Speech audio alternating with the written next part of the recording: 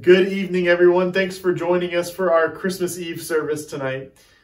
Our hope for tonight is that we can pause long enough to remember and dwell on our story.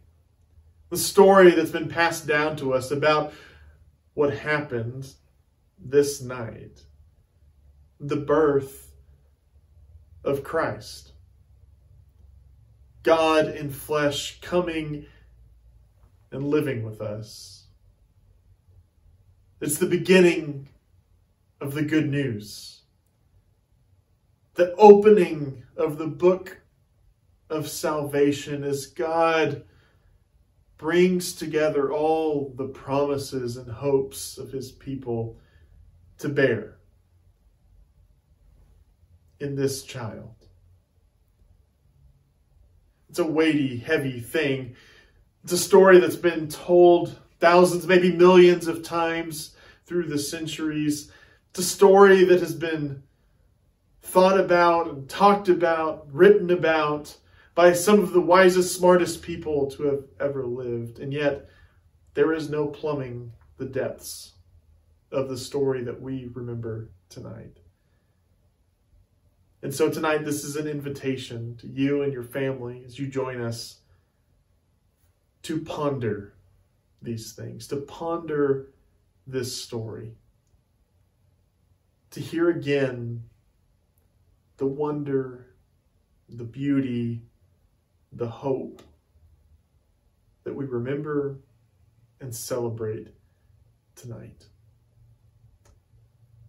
May God bless us in that endeavor. And I hope you enjoy the service tonight. O come,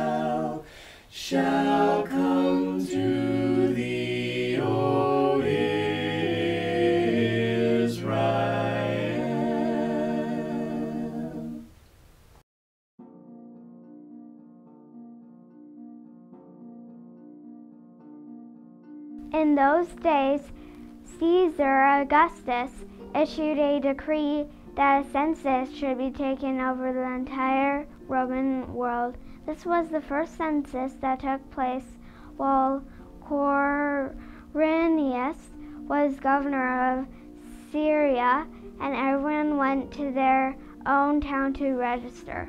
So Joseph also went from the town of Nazareth in Galilee to Judea to Bethlehem, the town of David, because he belonged in the house and line of David. he was to register with Mary, who was pledged to be married to him and was expecting a child. When they were there, the time came for the baby to be born.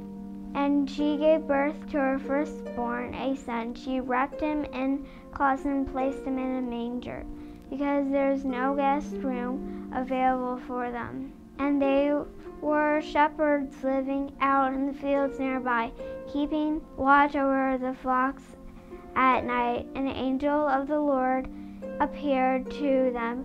The glory of the Lord shone around them. But as they were terrified, the angel said to them, Do not be afraid.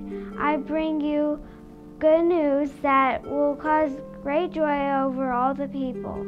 Today, in the town of David, a Savior has been born to you. He is the Messiah, the Lord. This will be a good sign to you, and will find a baby wrapped in cloth lying in a manger. Suddenly, a great company of heavenly hosts appeared, praising God and saying, Glory to God in the highest heaven, on earth peace and those on whom his favors rest. When the angels left them and gone to heaven, the shepherds said to one another, Let go to Bethlehem and see this thing that has been ha- that has happened, with which the Lord has told us about.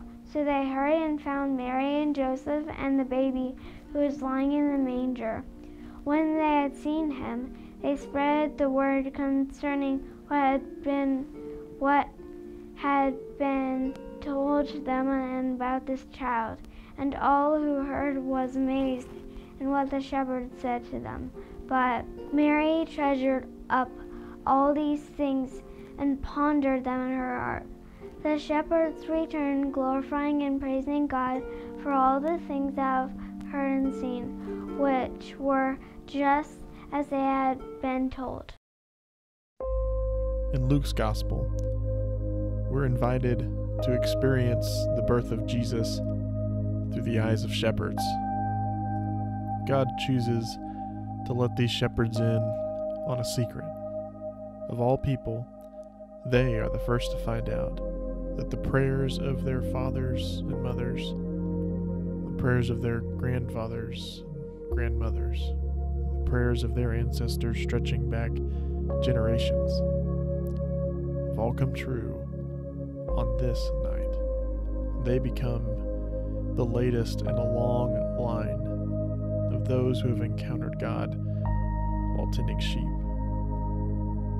Like Moses, who meets God at the burning bush, is called to rescue God's people out of Egypt while watching over flocks.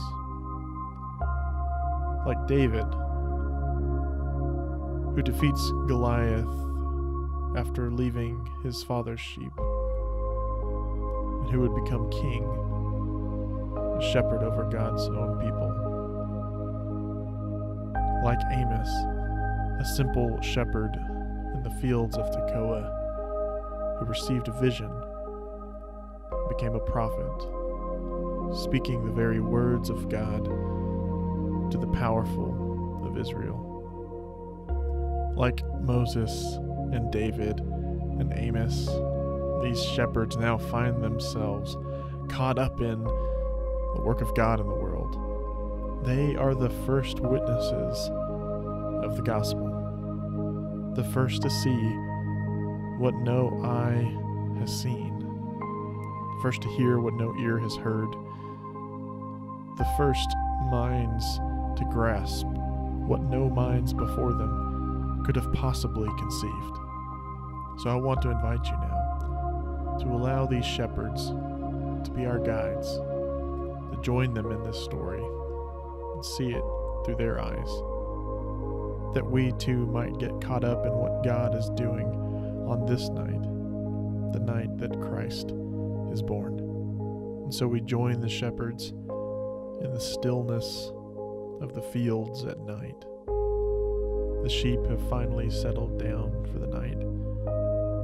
And for the first time all day, you are finally able to truly rest.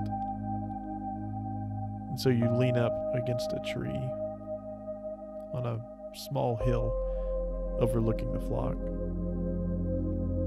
Can feel the weariness of the day take hold in your feet, your legs, your back, your hands. And as you breathe deeply, you can see your breath in the cold air. One of the lambs has come to sit in your lap, seeking warmth on this winter night. And as you gently pat the lamb's head, you lay your own head against the trunk of the tree behind you. You look up at the stars in the clear night sky. And just as you're about to close your eyes, you hear something behind you rustling of grass, footsteps, and immediately your heart is beating quickly. You're on high alert. You look around at the other shepherds to see if they've heard anything too. You can see in their eyes that they have. So you jump up, prepare yourself to meet whatever might be heading your way. You squint against the darkness, hoping to catch a glimpse of whatever is moving in the shadows. And then suddenly, there's a blinding light. You instinctively shield your eyes with your hand as your eyes adjust to the brightness. Before you see the figure, you hear a voice Do not be afraid. And as your eyes continue to adjust, the voice continues I bring you good news that will cause great joy for all the people. Today, in the town of David, a Savior has been born to you. He is the Messiah, the Lord. This will be a sign to you. You will find a baby wrapped in cloths, lying in a manger. And before you can process this angel's message, you are surrounded by voices. The light and the sound is overwhelming, but the warmth and delight in those voices make it clear you don't need to be afraid. The sound you hear is the sound of unrestrained celebration. It's a sound that you can only compare to what you've heard in sports arenas, victory parades, as thousands upon thousands are united in joy. And then, just as quickly as the light appeared, the voices and the light vanish. As you look around in wide eyed shock, begin to search the faces of your fellow shepherds, looking for confirmation that they saw what you saw, they heard what you heard. And with smiles on their faces, they nod back at you. Then, in a frenzy of conversation, you begin to process what you just experienced together, rehearsing with one another every detail of what just happened, until one of you remembers the words of that first angel who talked about a child in cloths in a manger, a child who will be the Messiah. And then, like Moses and David and Amos, who met God and then decided to leave their flocks because of what they'd heard, decide to leave your flocks too, because you have to see this thing that God has done. And so you make your way towards the lights of Bethlehem. And you find the weariness in your legs is now gone. And the sheer wonder of this moment is carrying you forward. And as you walk, you hum the song you heard the angels sing. As you enter the city, your pace quickens. You look for the house you've been told about. And as you wander the streets of Bethlehem, the foolishness of what you're doing begins to creep up on you. You begin to be anxious about how you might be received in the dead of night by strangers. But before long, you find yourself at their door, and you decide you will regret it forever if you don't go in. And so you knock. The door opens, and there is the child. Just as the angel said, in cloths, lying in a manger. As you struggle to take it all in, trying to grasp the weight of this moment, you smile up at Mary and Joseph. You see smiles on their faces too, as if they knew you were coming, as if they know what you know. That this night means more than any of you can possibly comprehend. And that somehow, by luck, the grace of God, you happen to find yourselves right in the middle of it. And with that smile still on her face, Mary gets up, picks up the baby, and she comes over to you and asks you if you would like to hold him. And as you nod, she places Jesus in your arms. Mary gently touches Jesus' head as you hold him. You look up. You see her gazing at her child as you hold him. See Mary's face in that moment. What does her face look like right now?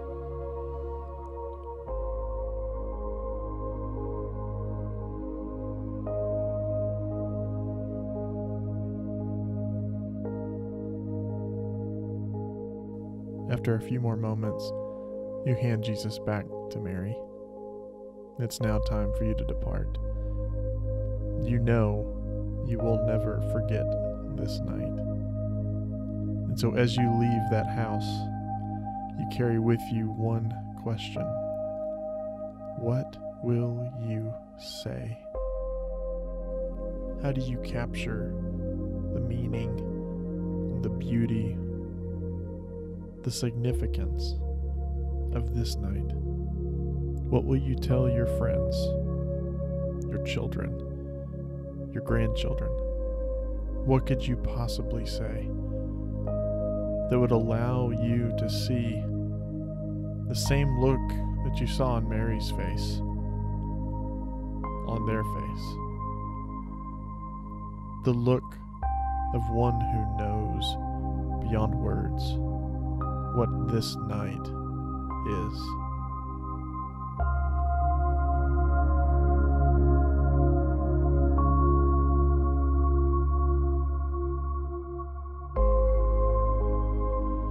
According to Luke, the shepherds left, glorifying and praising God for everything they had seen. And for us, all these years later, there is still only one response possible to the story that we've heard tonight. Amen. Hallelujah. Praise God.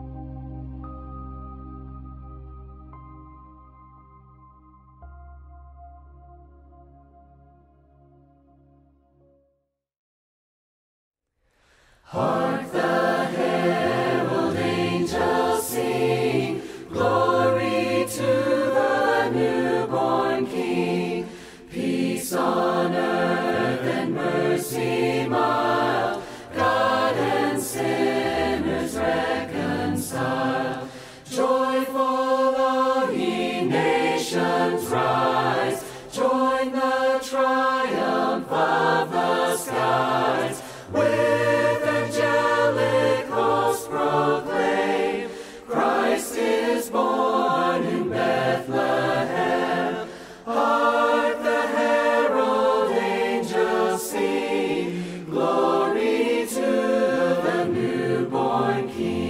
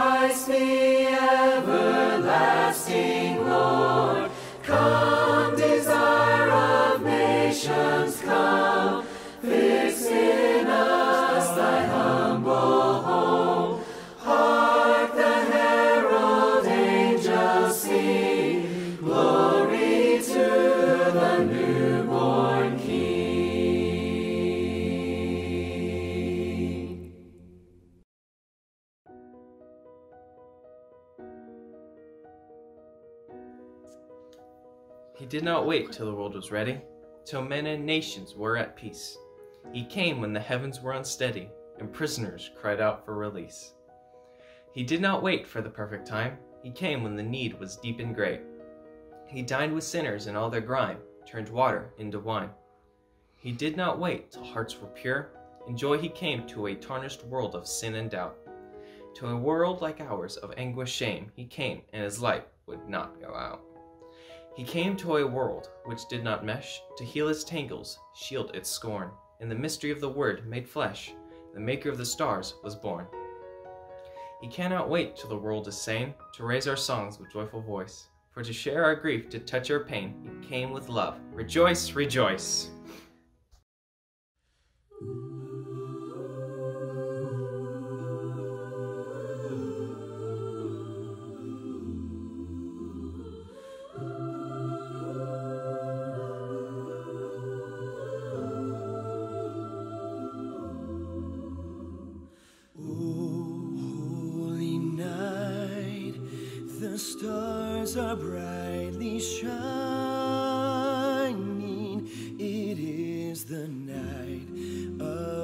Of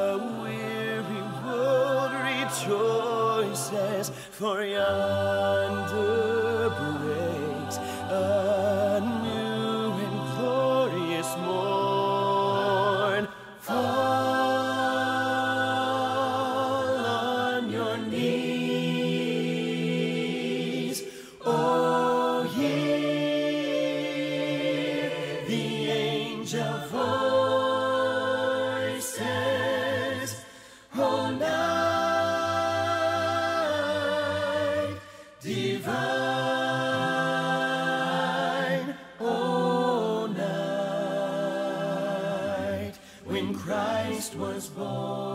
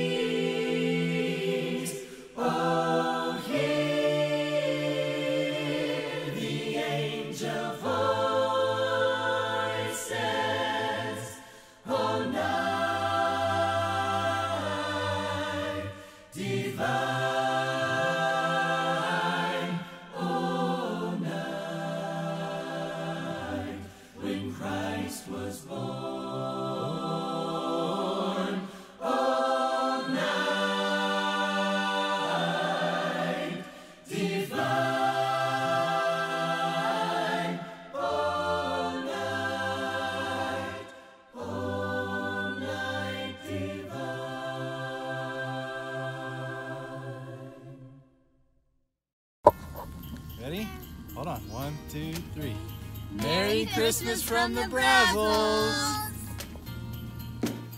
For unto us a child is born. May the gift of faith, the blessing of hope, and the peace of his love be yours this holiday season. Merry Christmas. Merry, Christmas from House the King family. And I'm here too. Merry Christmas, Southside family. Stay safe. Stay well. And have a happy new year. We love you. See ya. Merry Christmas, Southside. Hey, Southside family, we love and miss you guys. We're on the road this holiday season, but we are with you in spirit. Merry, Christmas, from the Ferrises. Hey, Southside, we're the Carmichaels. Here's wishing you a Merry Christmas and a Happy New Year. Merry Christmas Southside from the cribs and the Merry snowy Christmas from the Fowlers. Merry Christmas, Southside Church of Christ. Merry Christmas. From the Maherons family, Nikita, Daniel, Riley, and Chip. Merry Christmas. Merry Christmas. We wish you a Merry Christmas. We wish you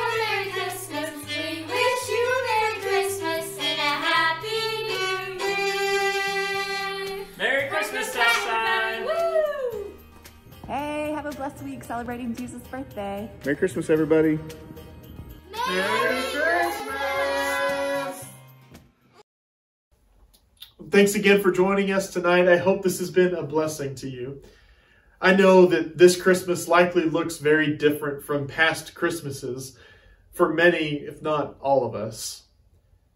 But I hope in the midst of that, we're able to connect with the joy that this season offers. The joy of sharing gifts with family and friends, whether you can open them in the same room or not. The joy of eating good food, lots of desserts. The joy of finding time away from work for rest and play, but also the deeper joys that this season brings. The joy of knowing that there is a light in the midst of the darkness. A joy that despair and grief and worry can't touch. The joy of the wonderful news that on this night, in the town of David, a Savior is born unto us. And on that news, we find rest and peace and great joy. Rest well, my friends, and know that God, Emmanuel, is with us still.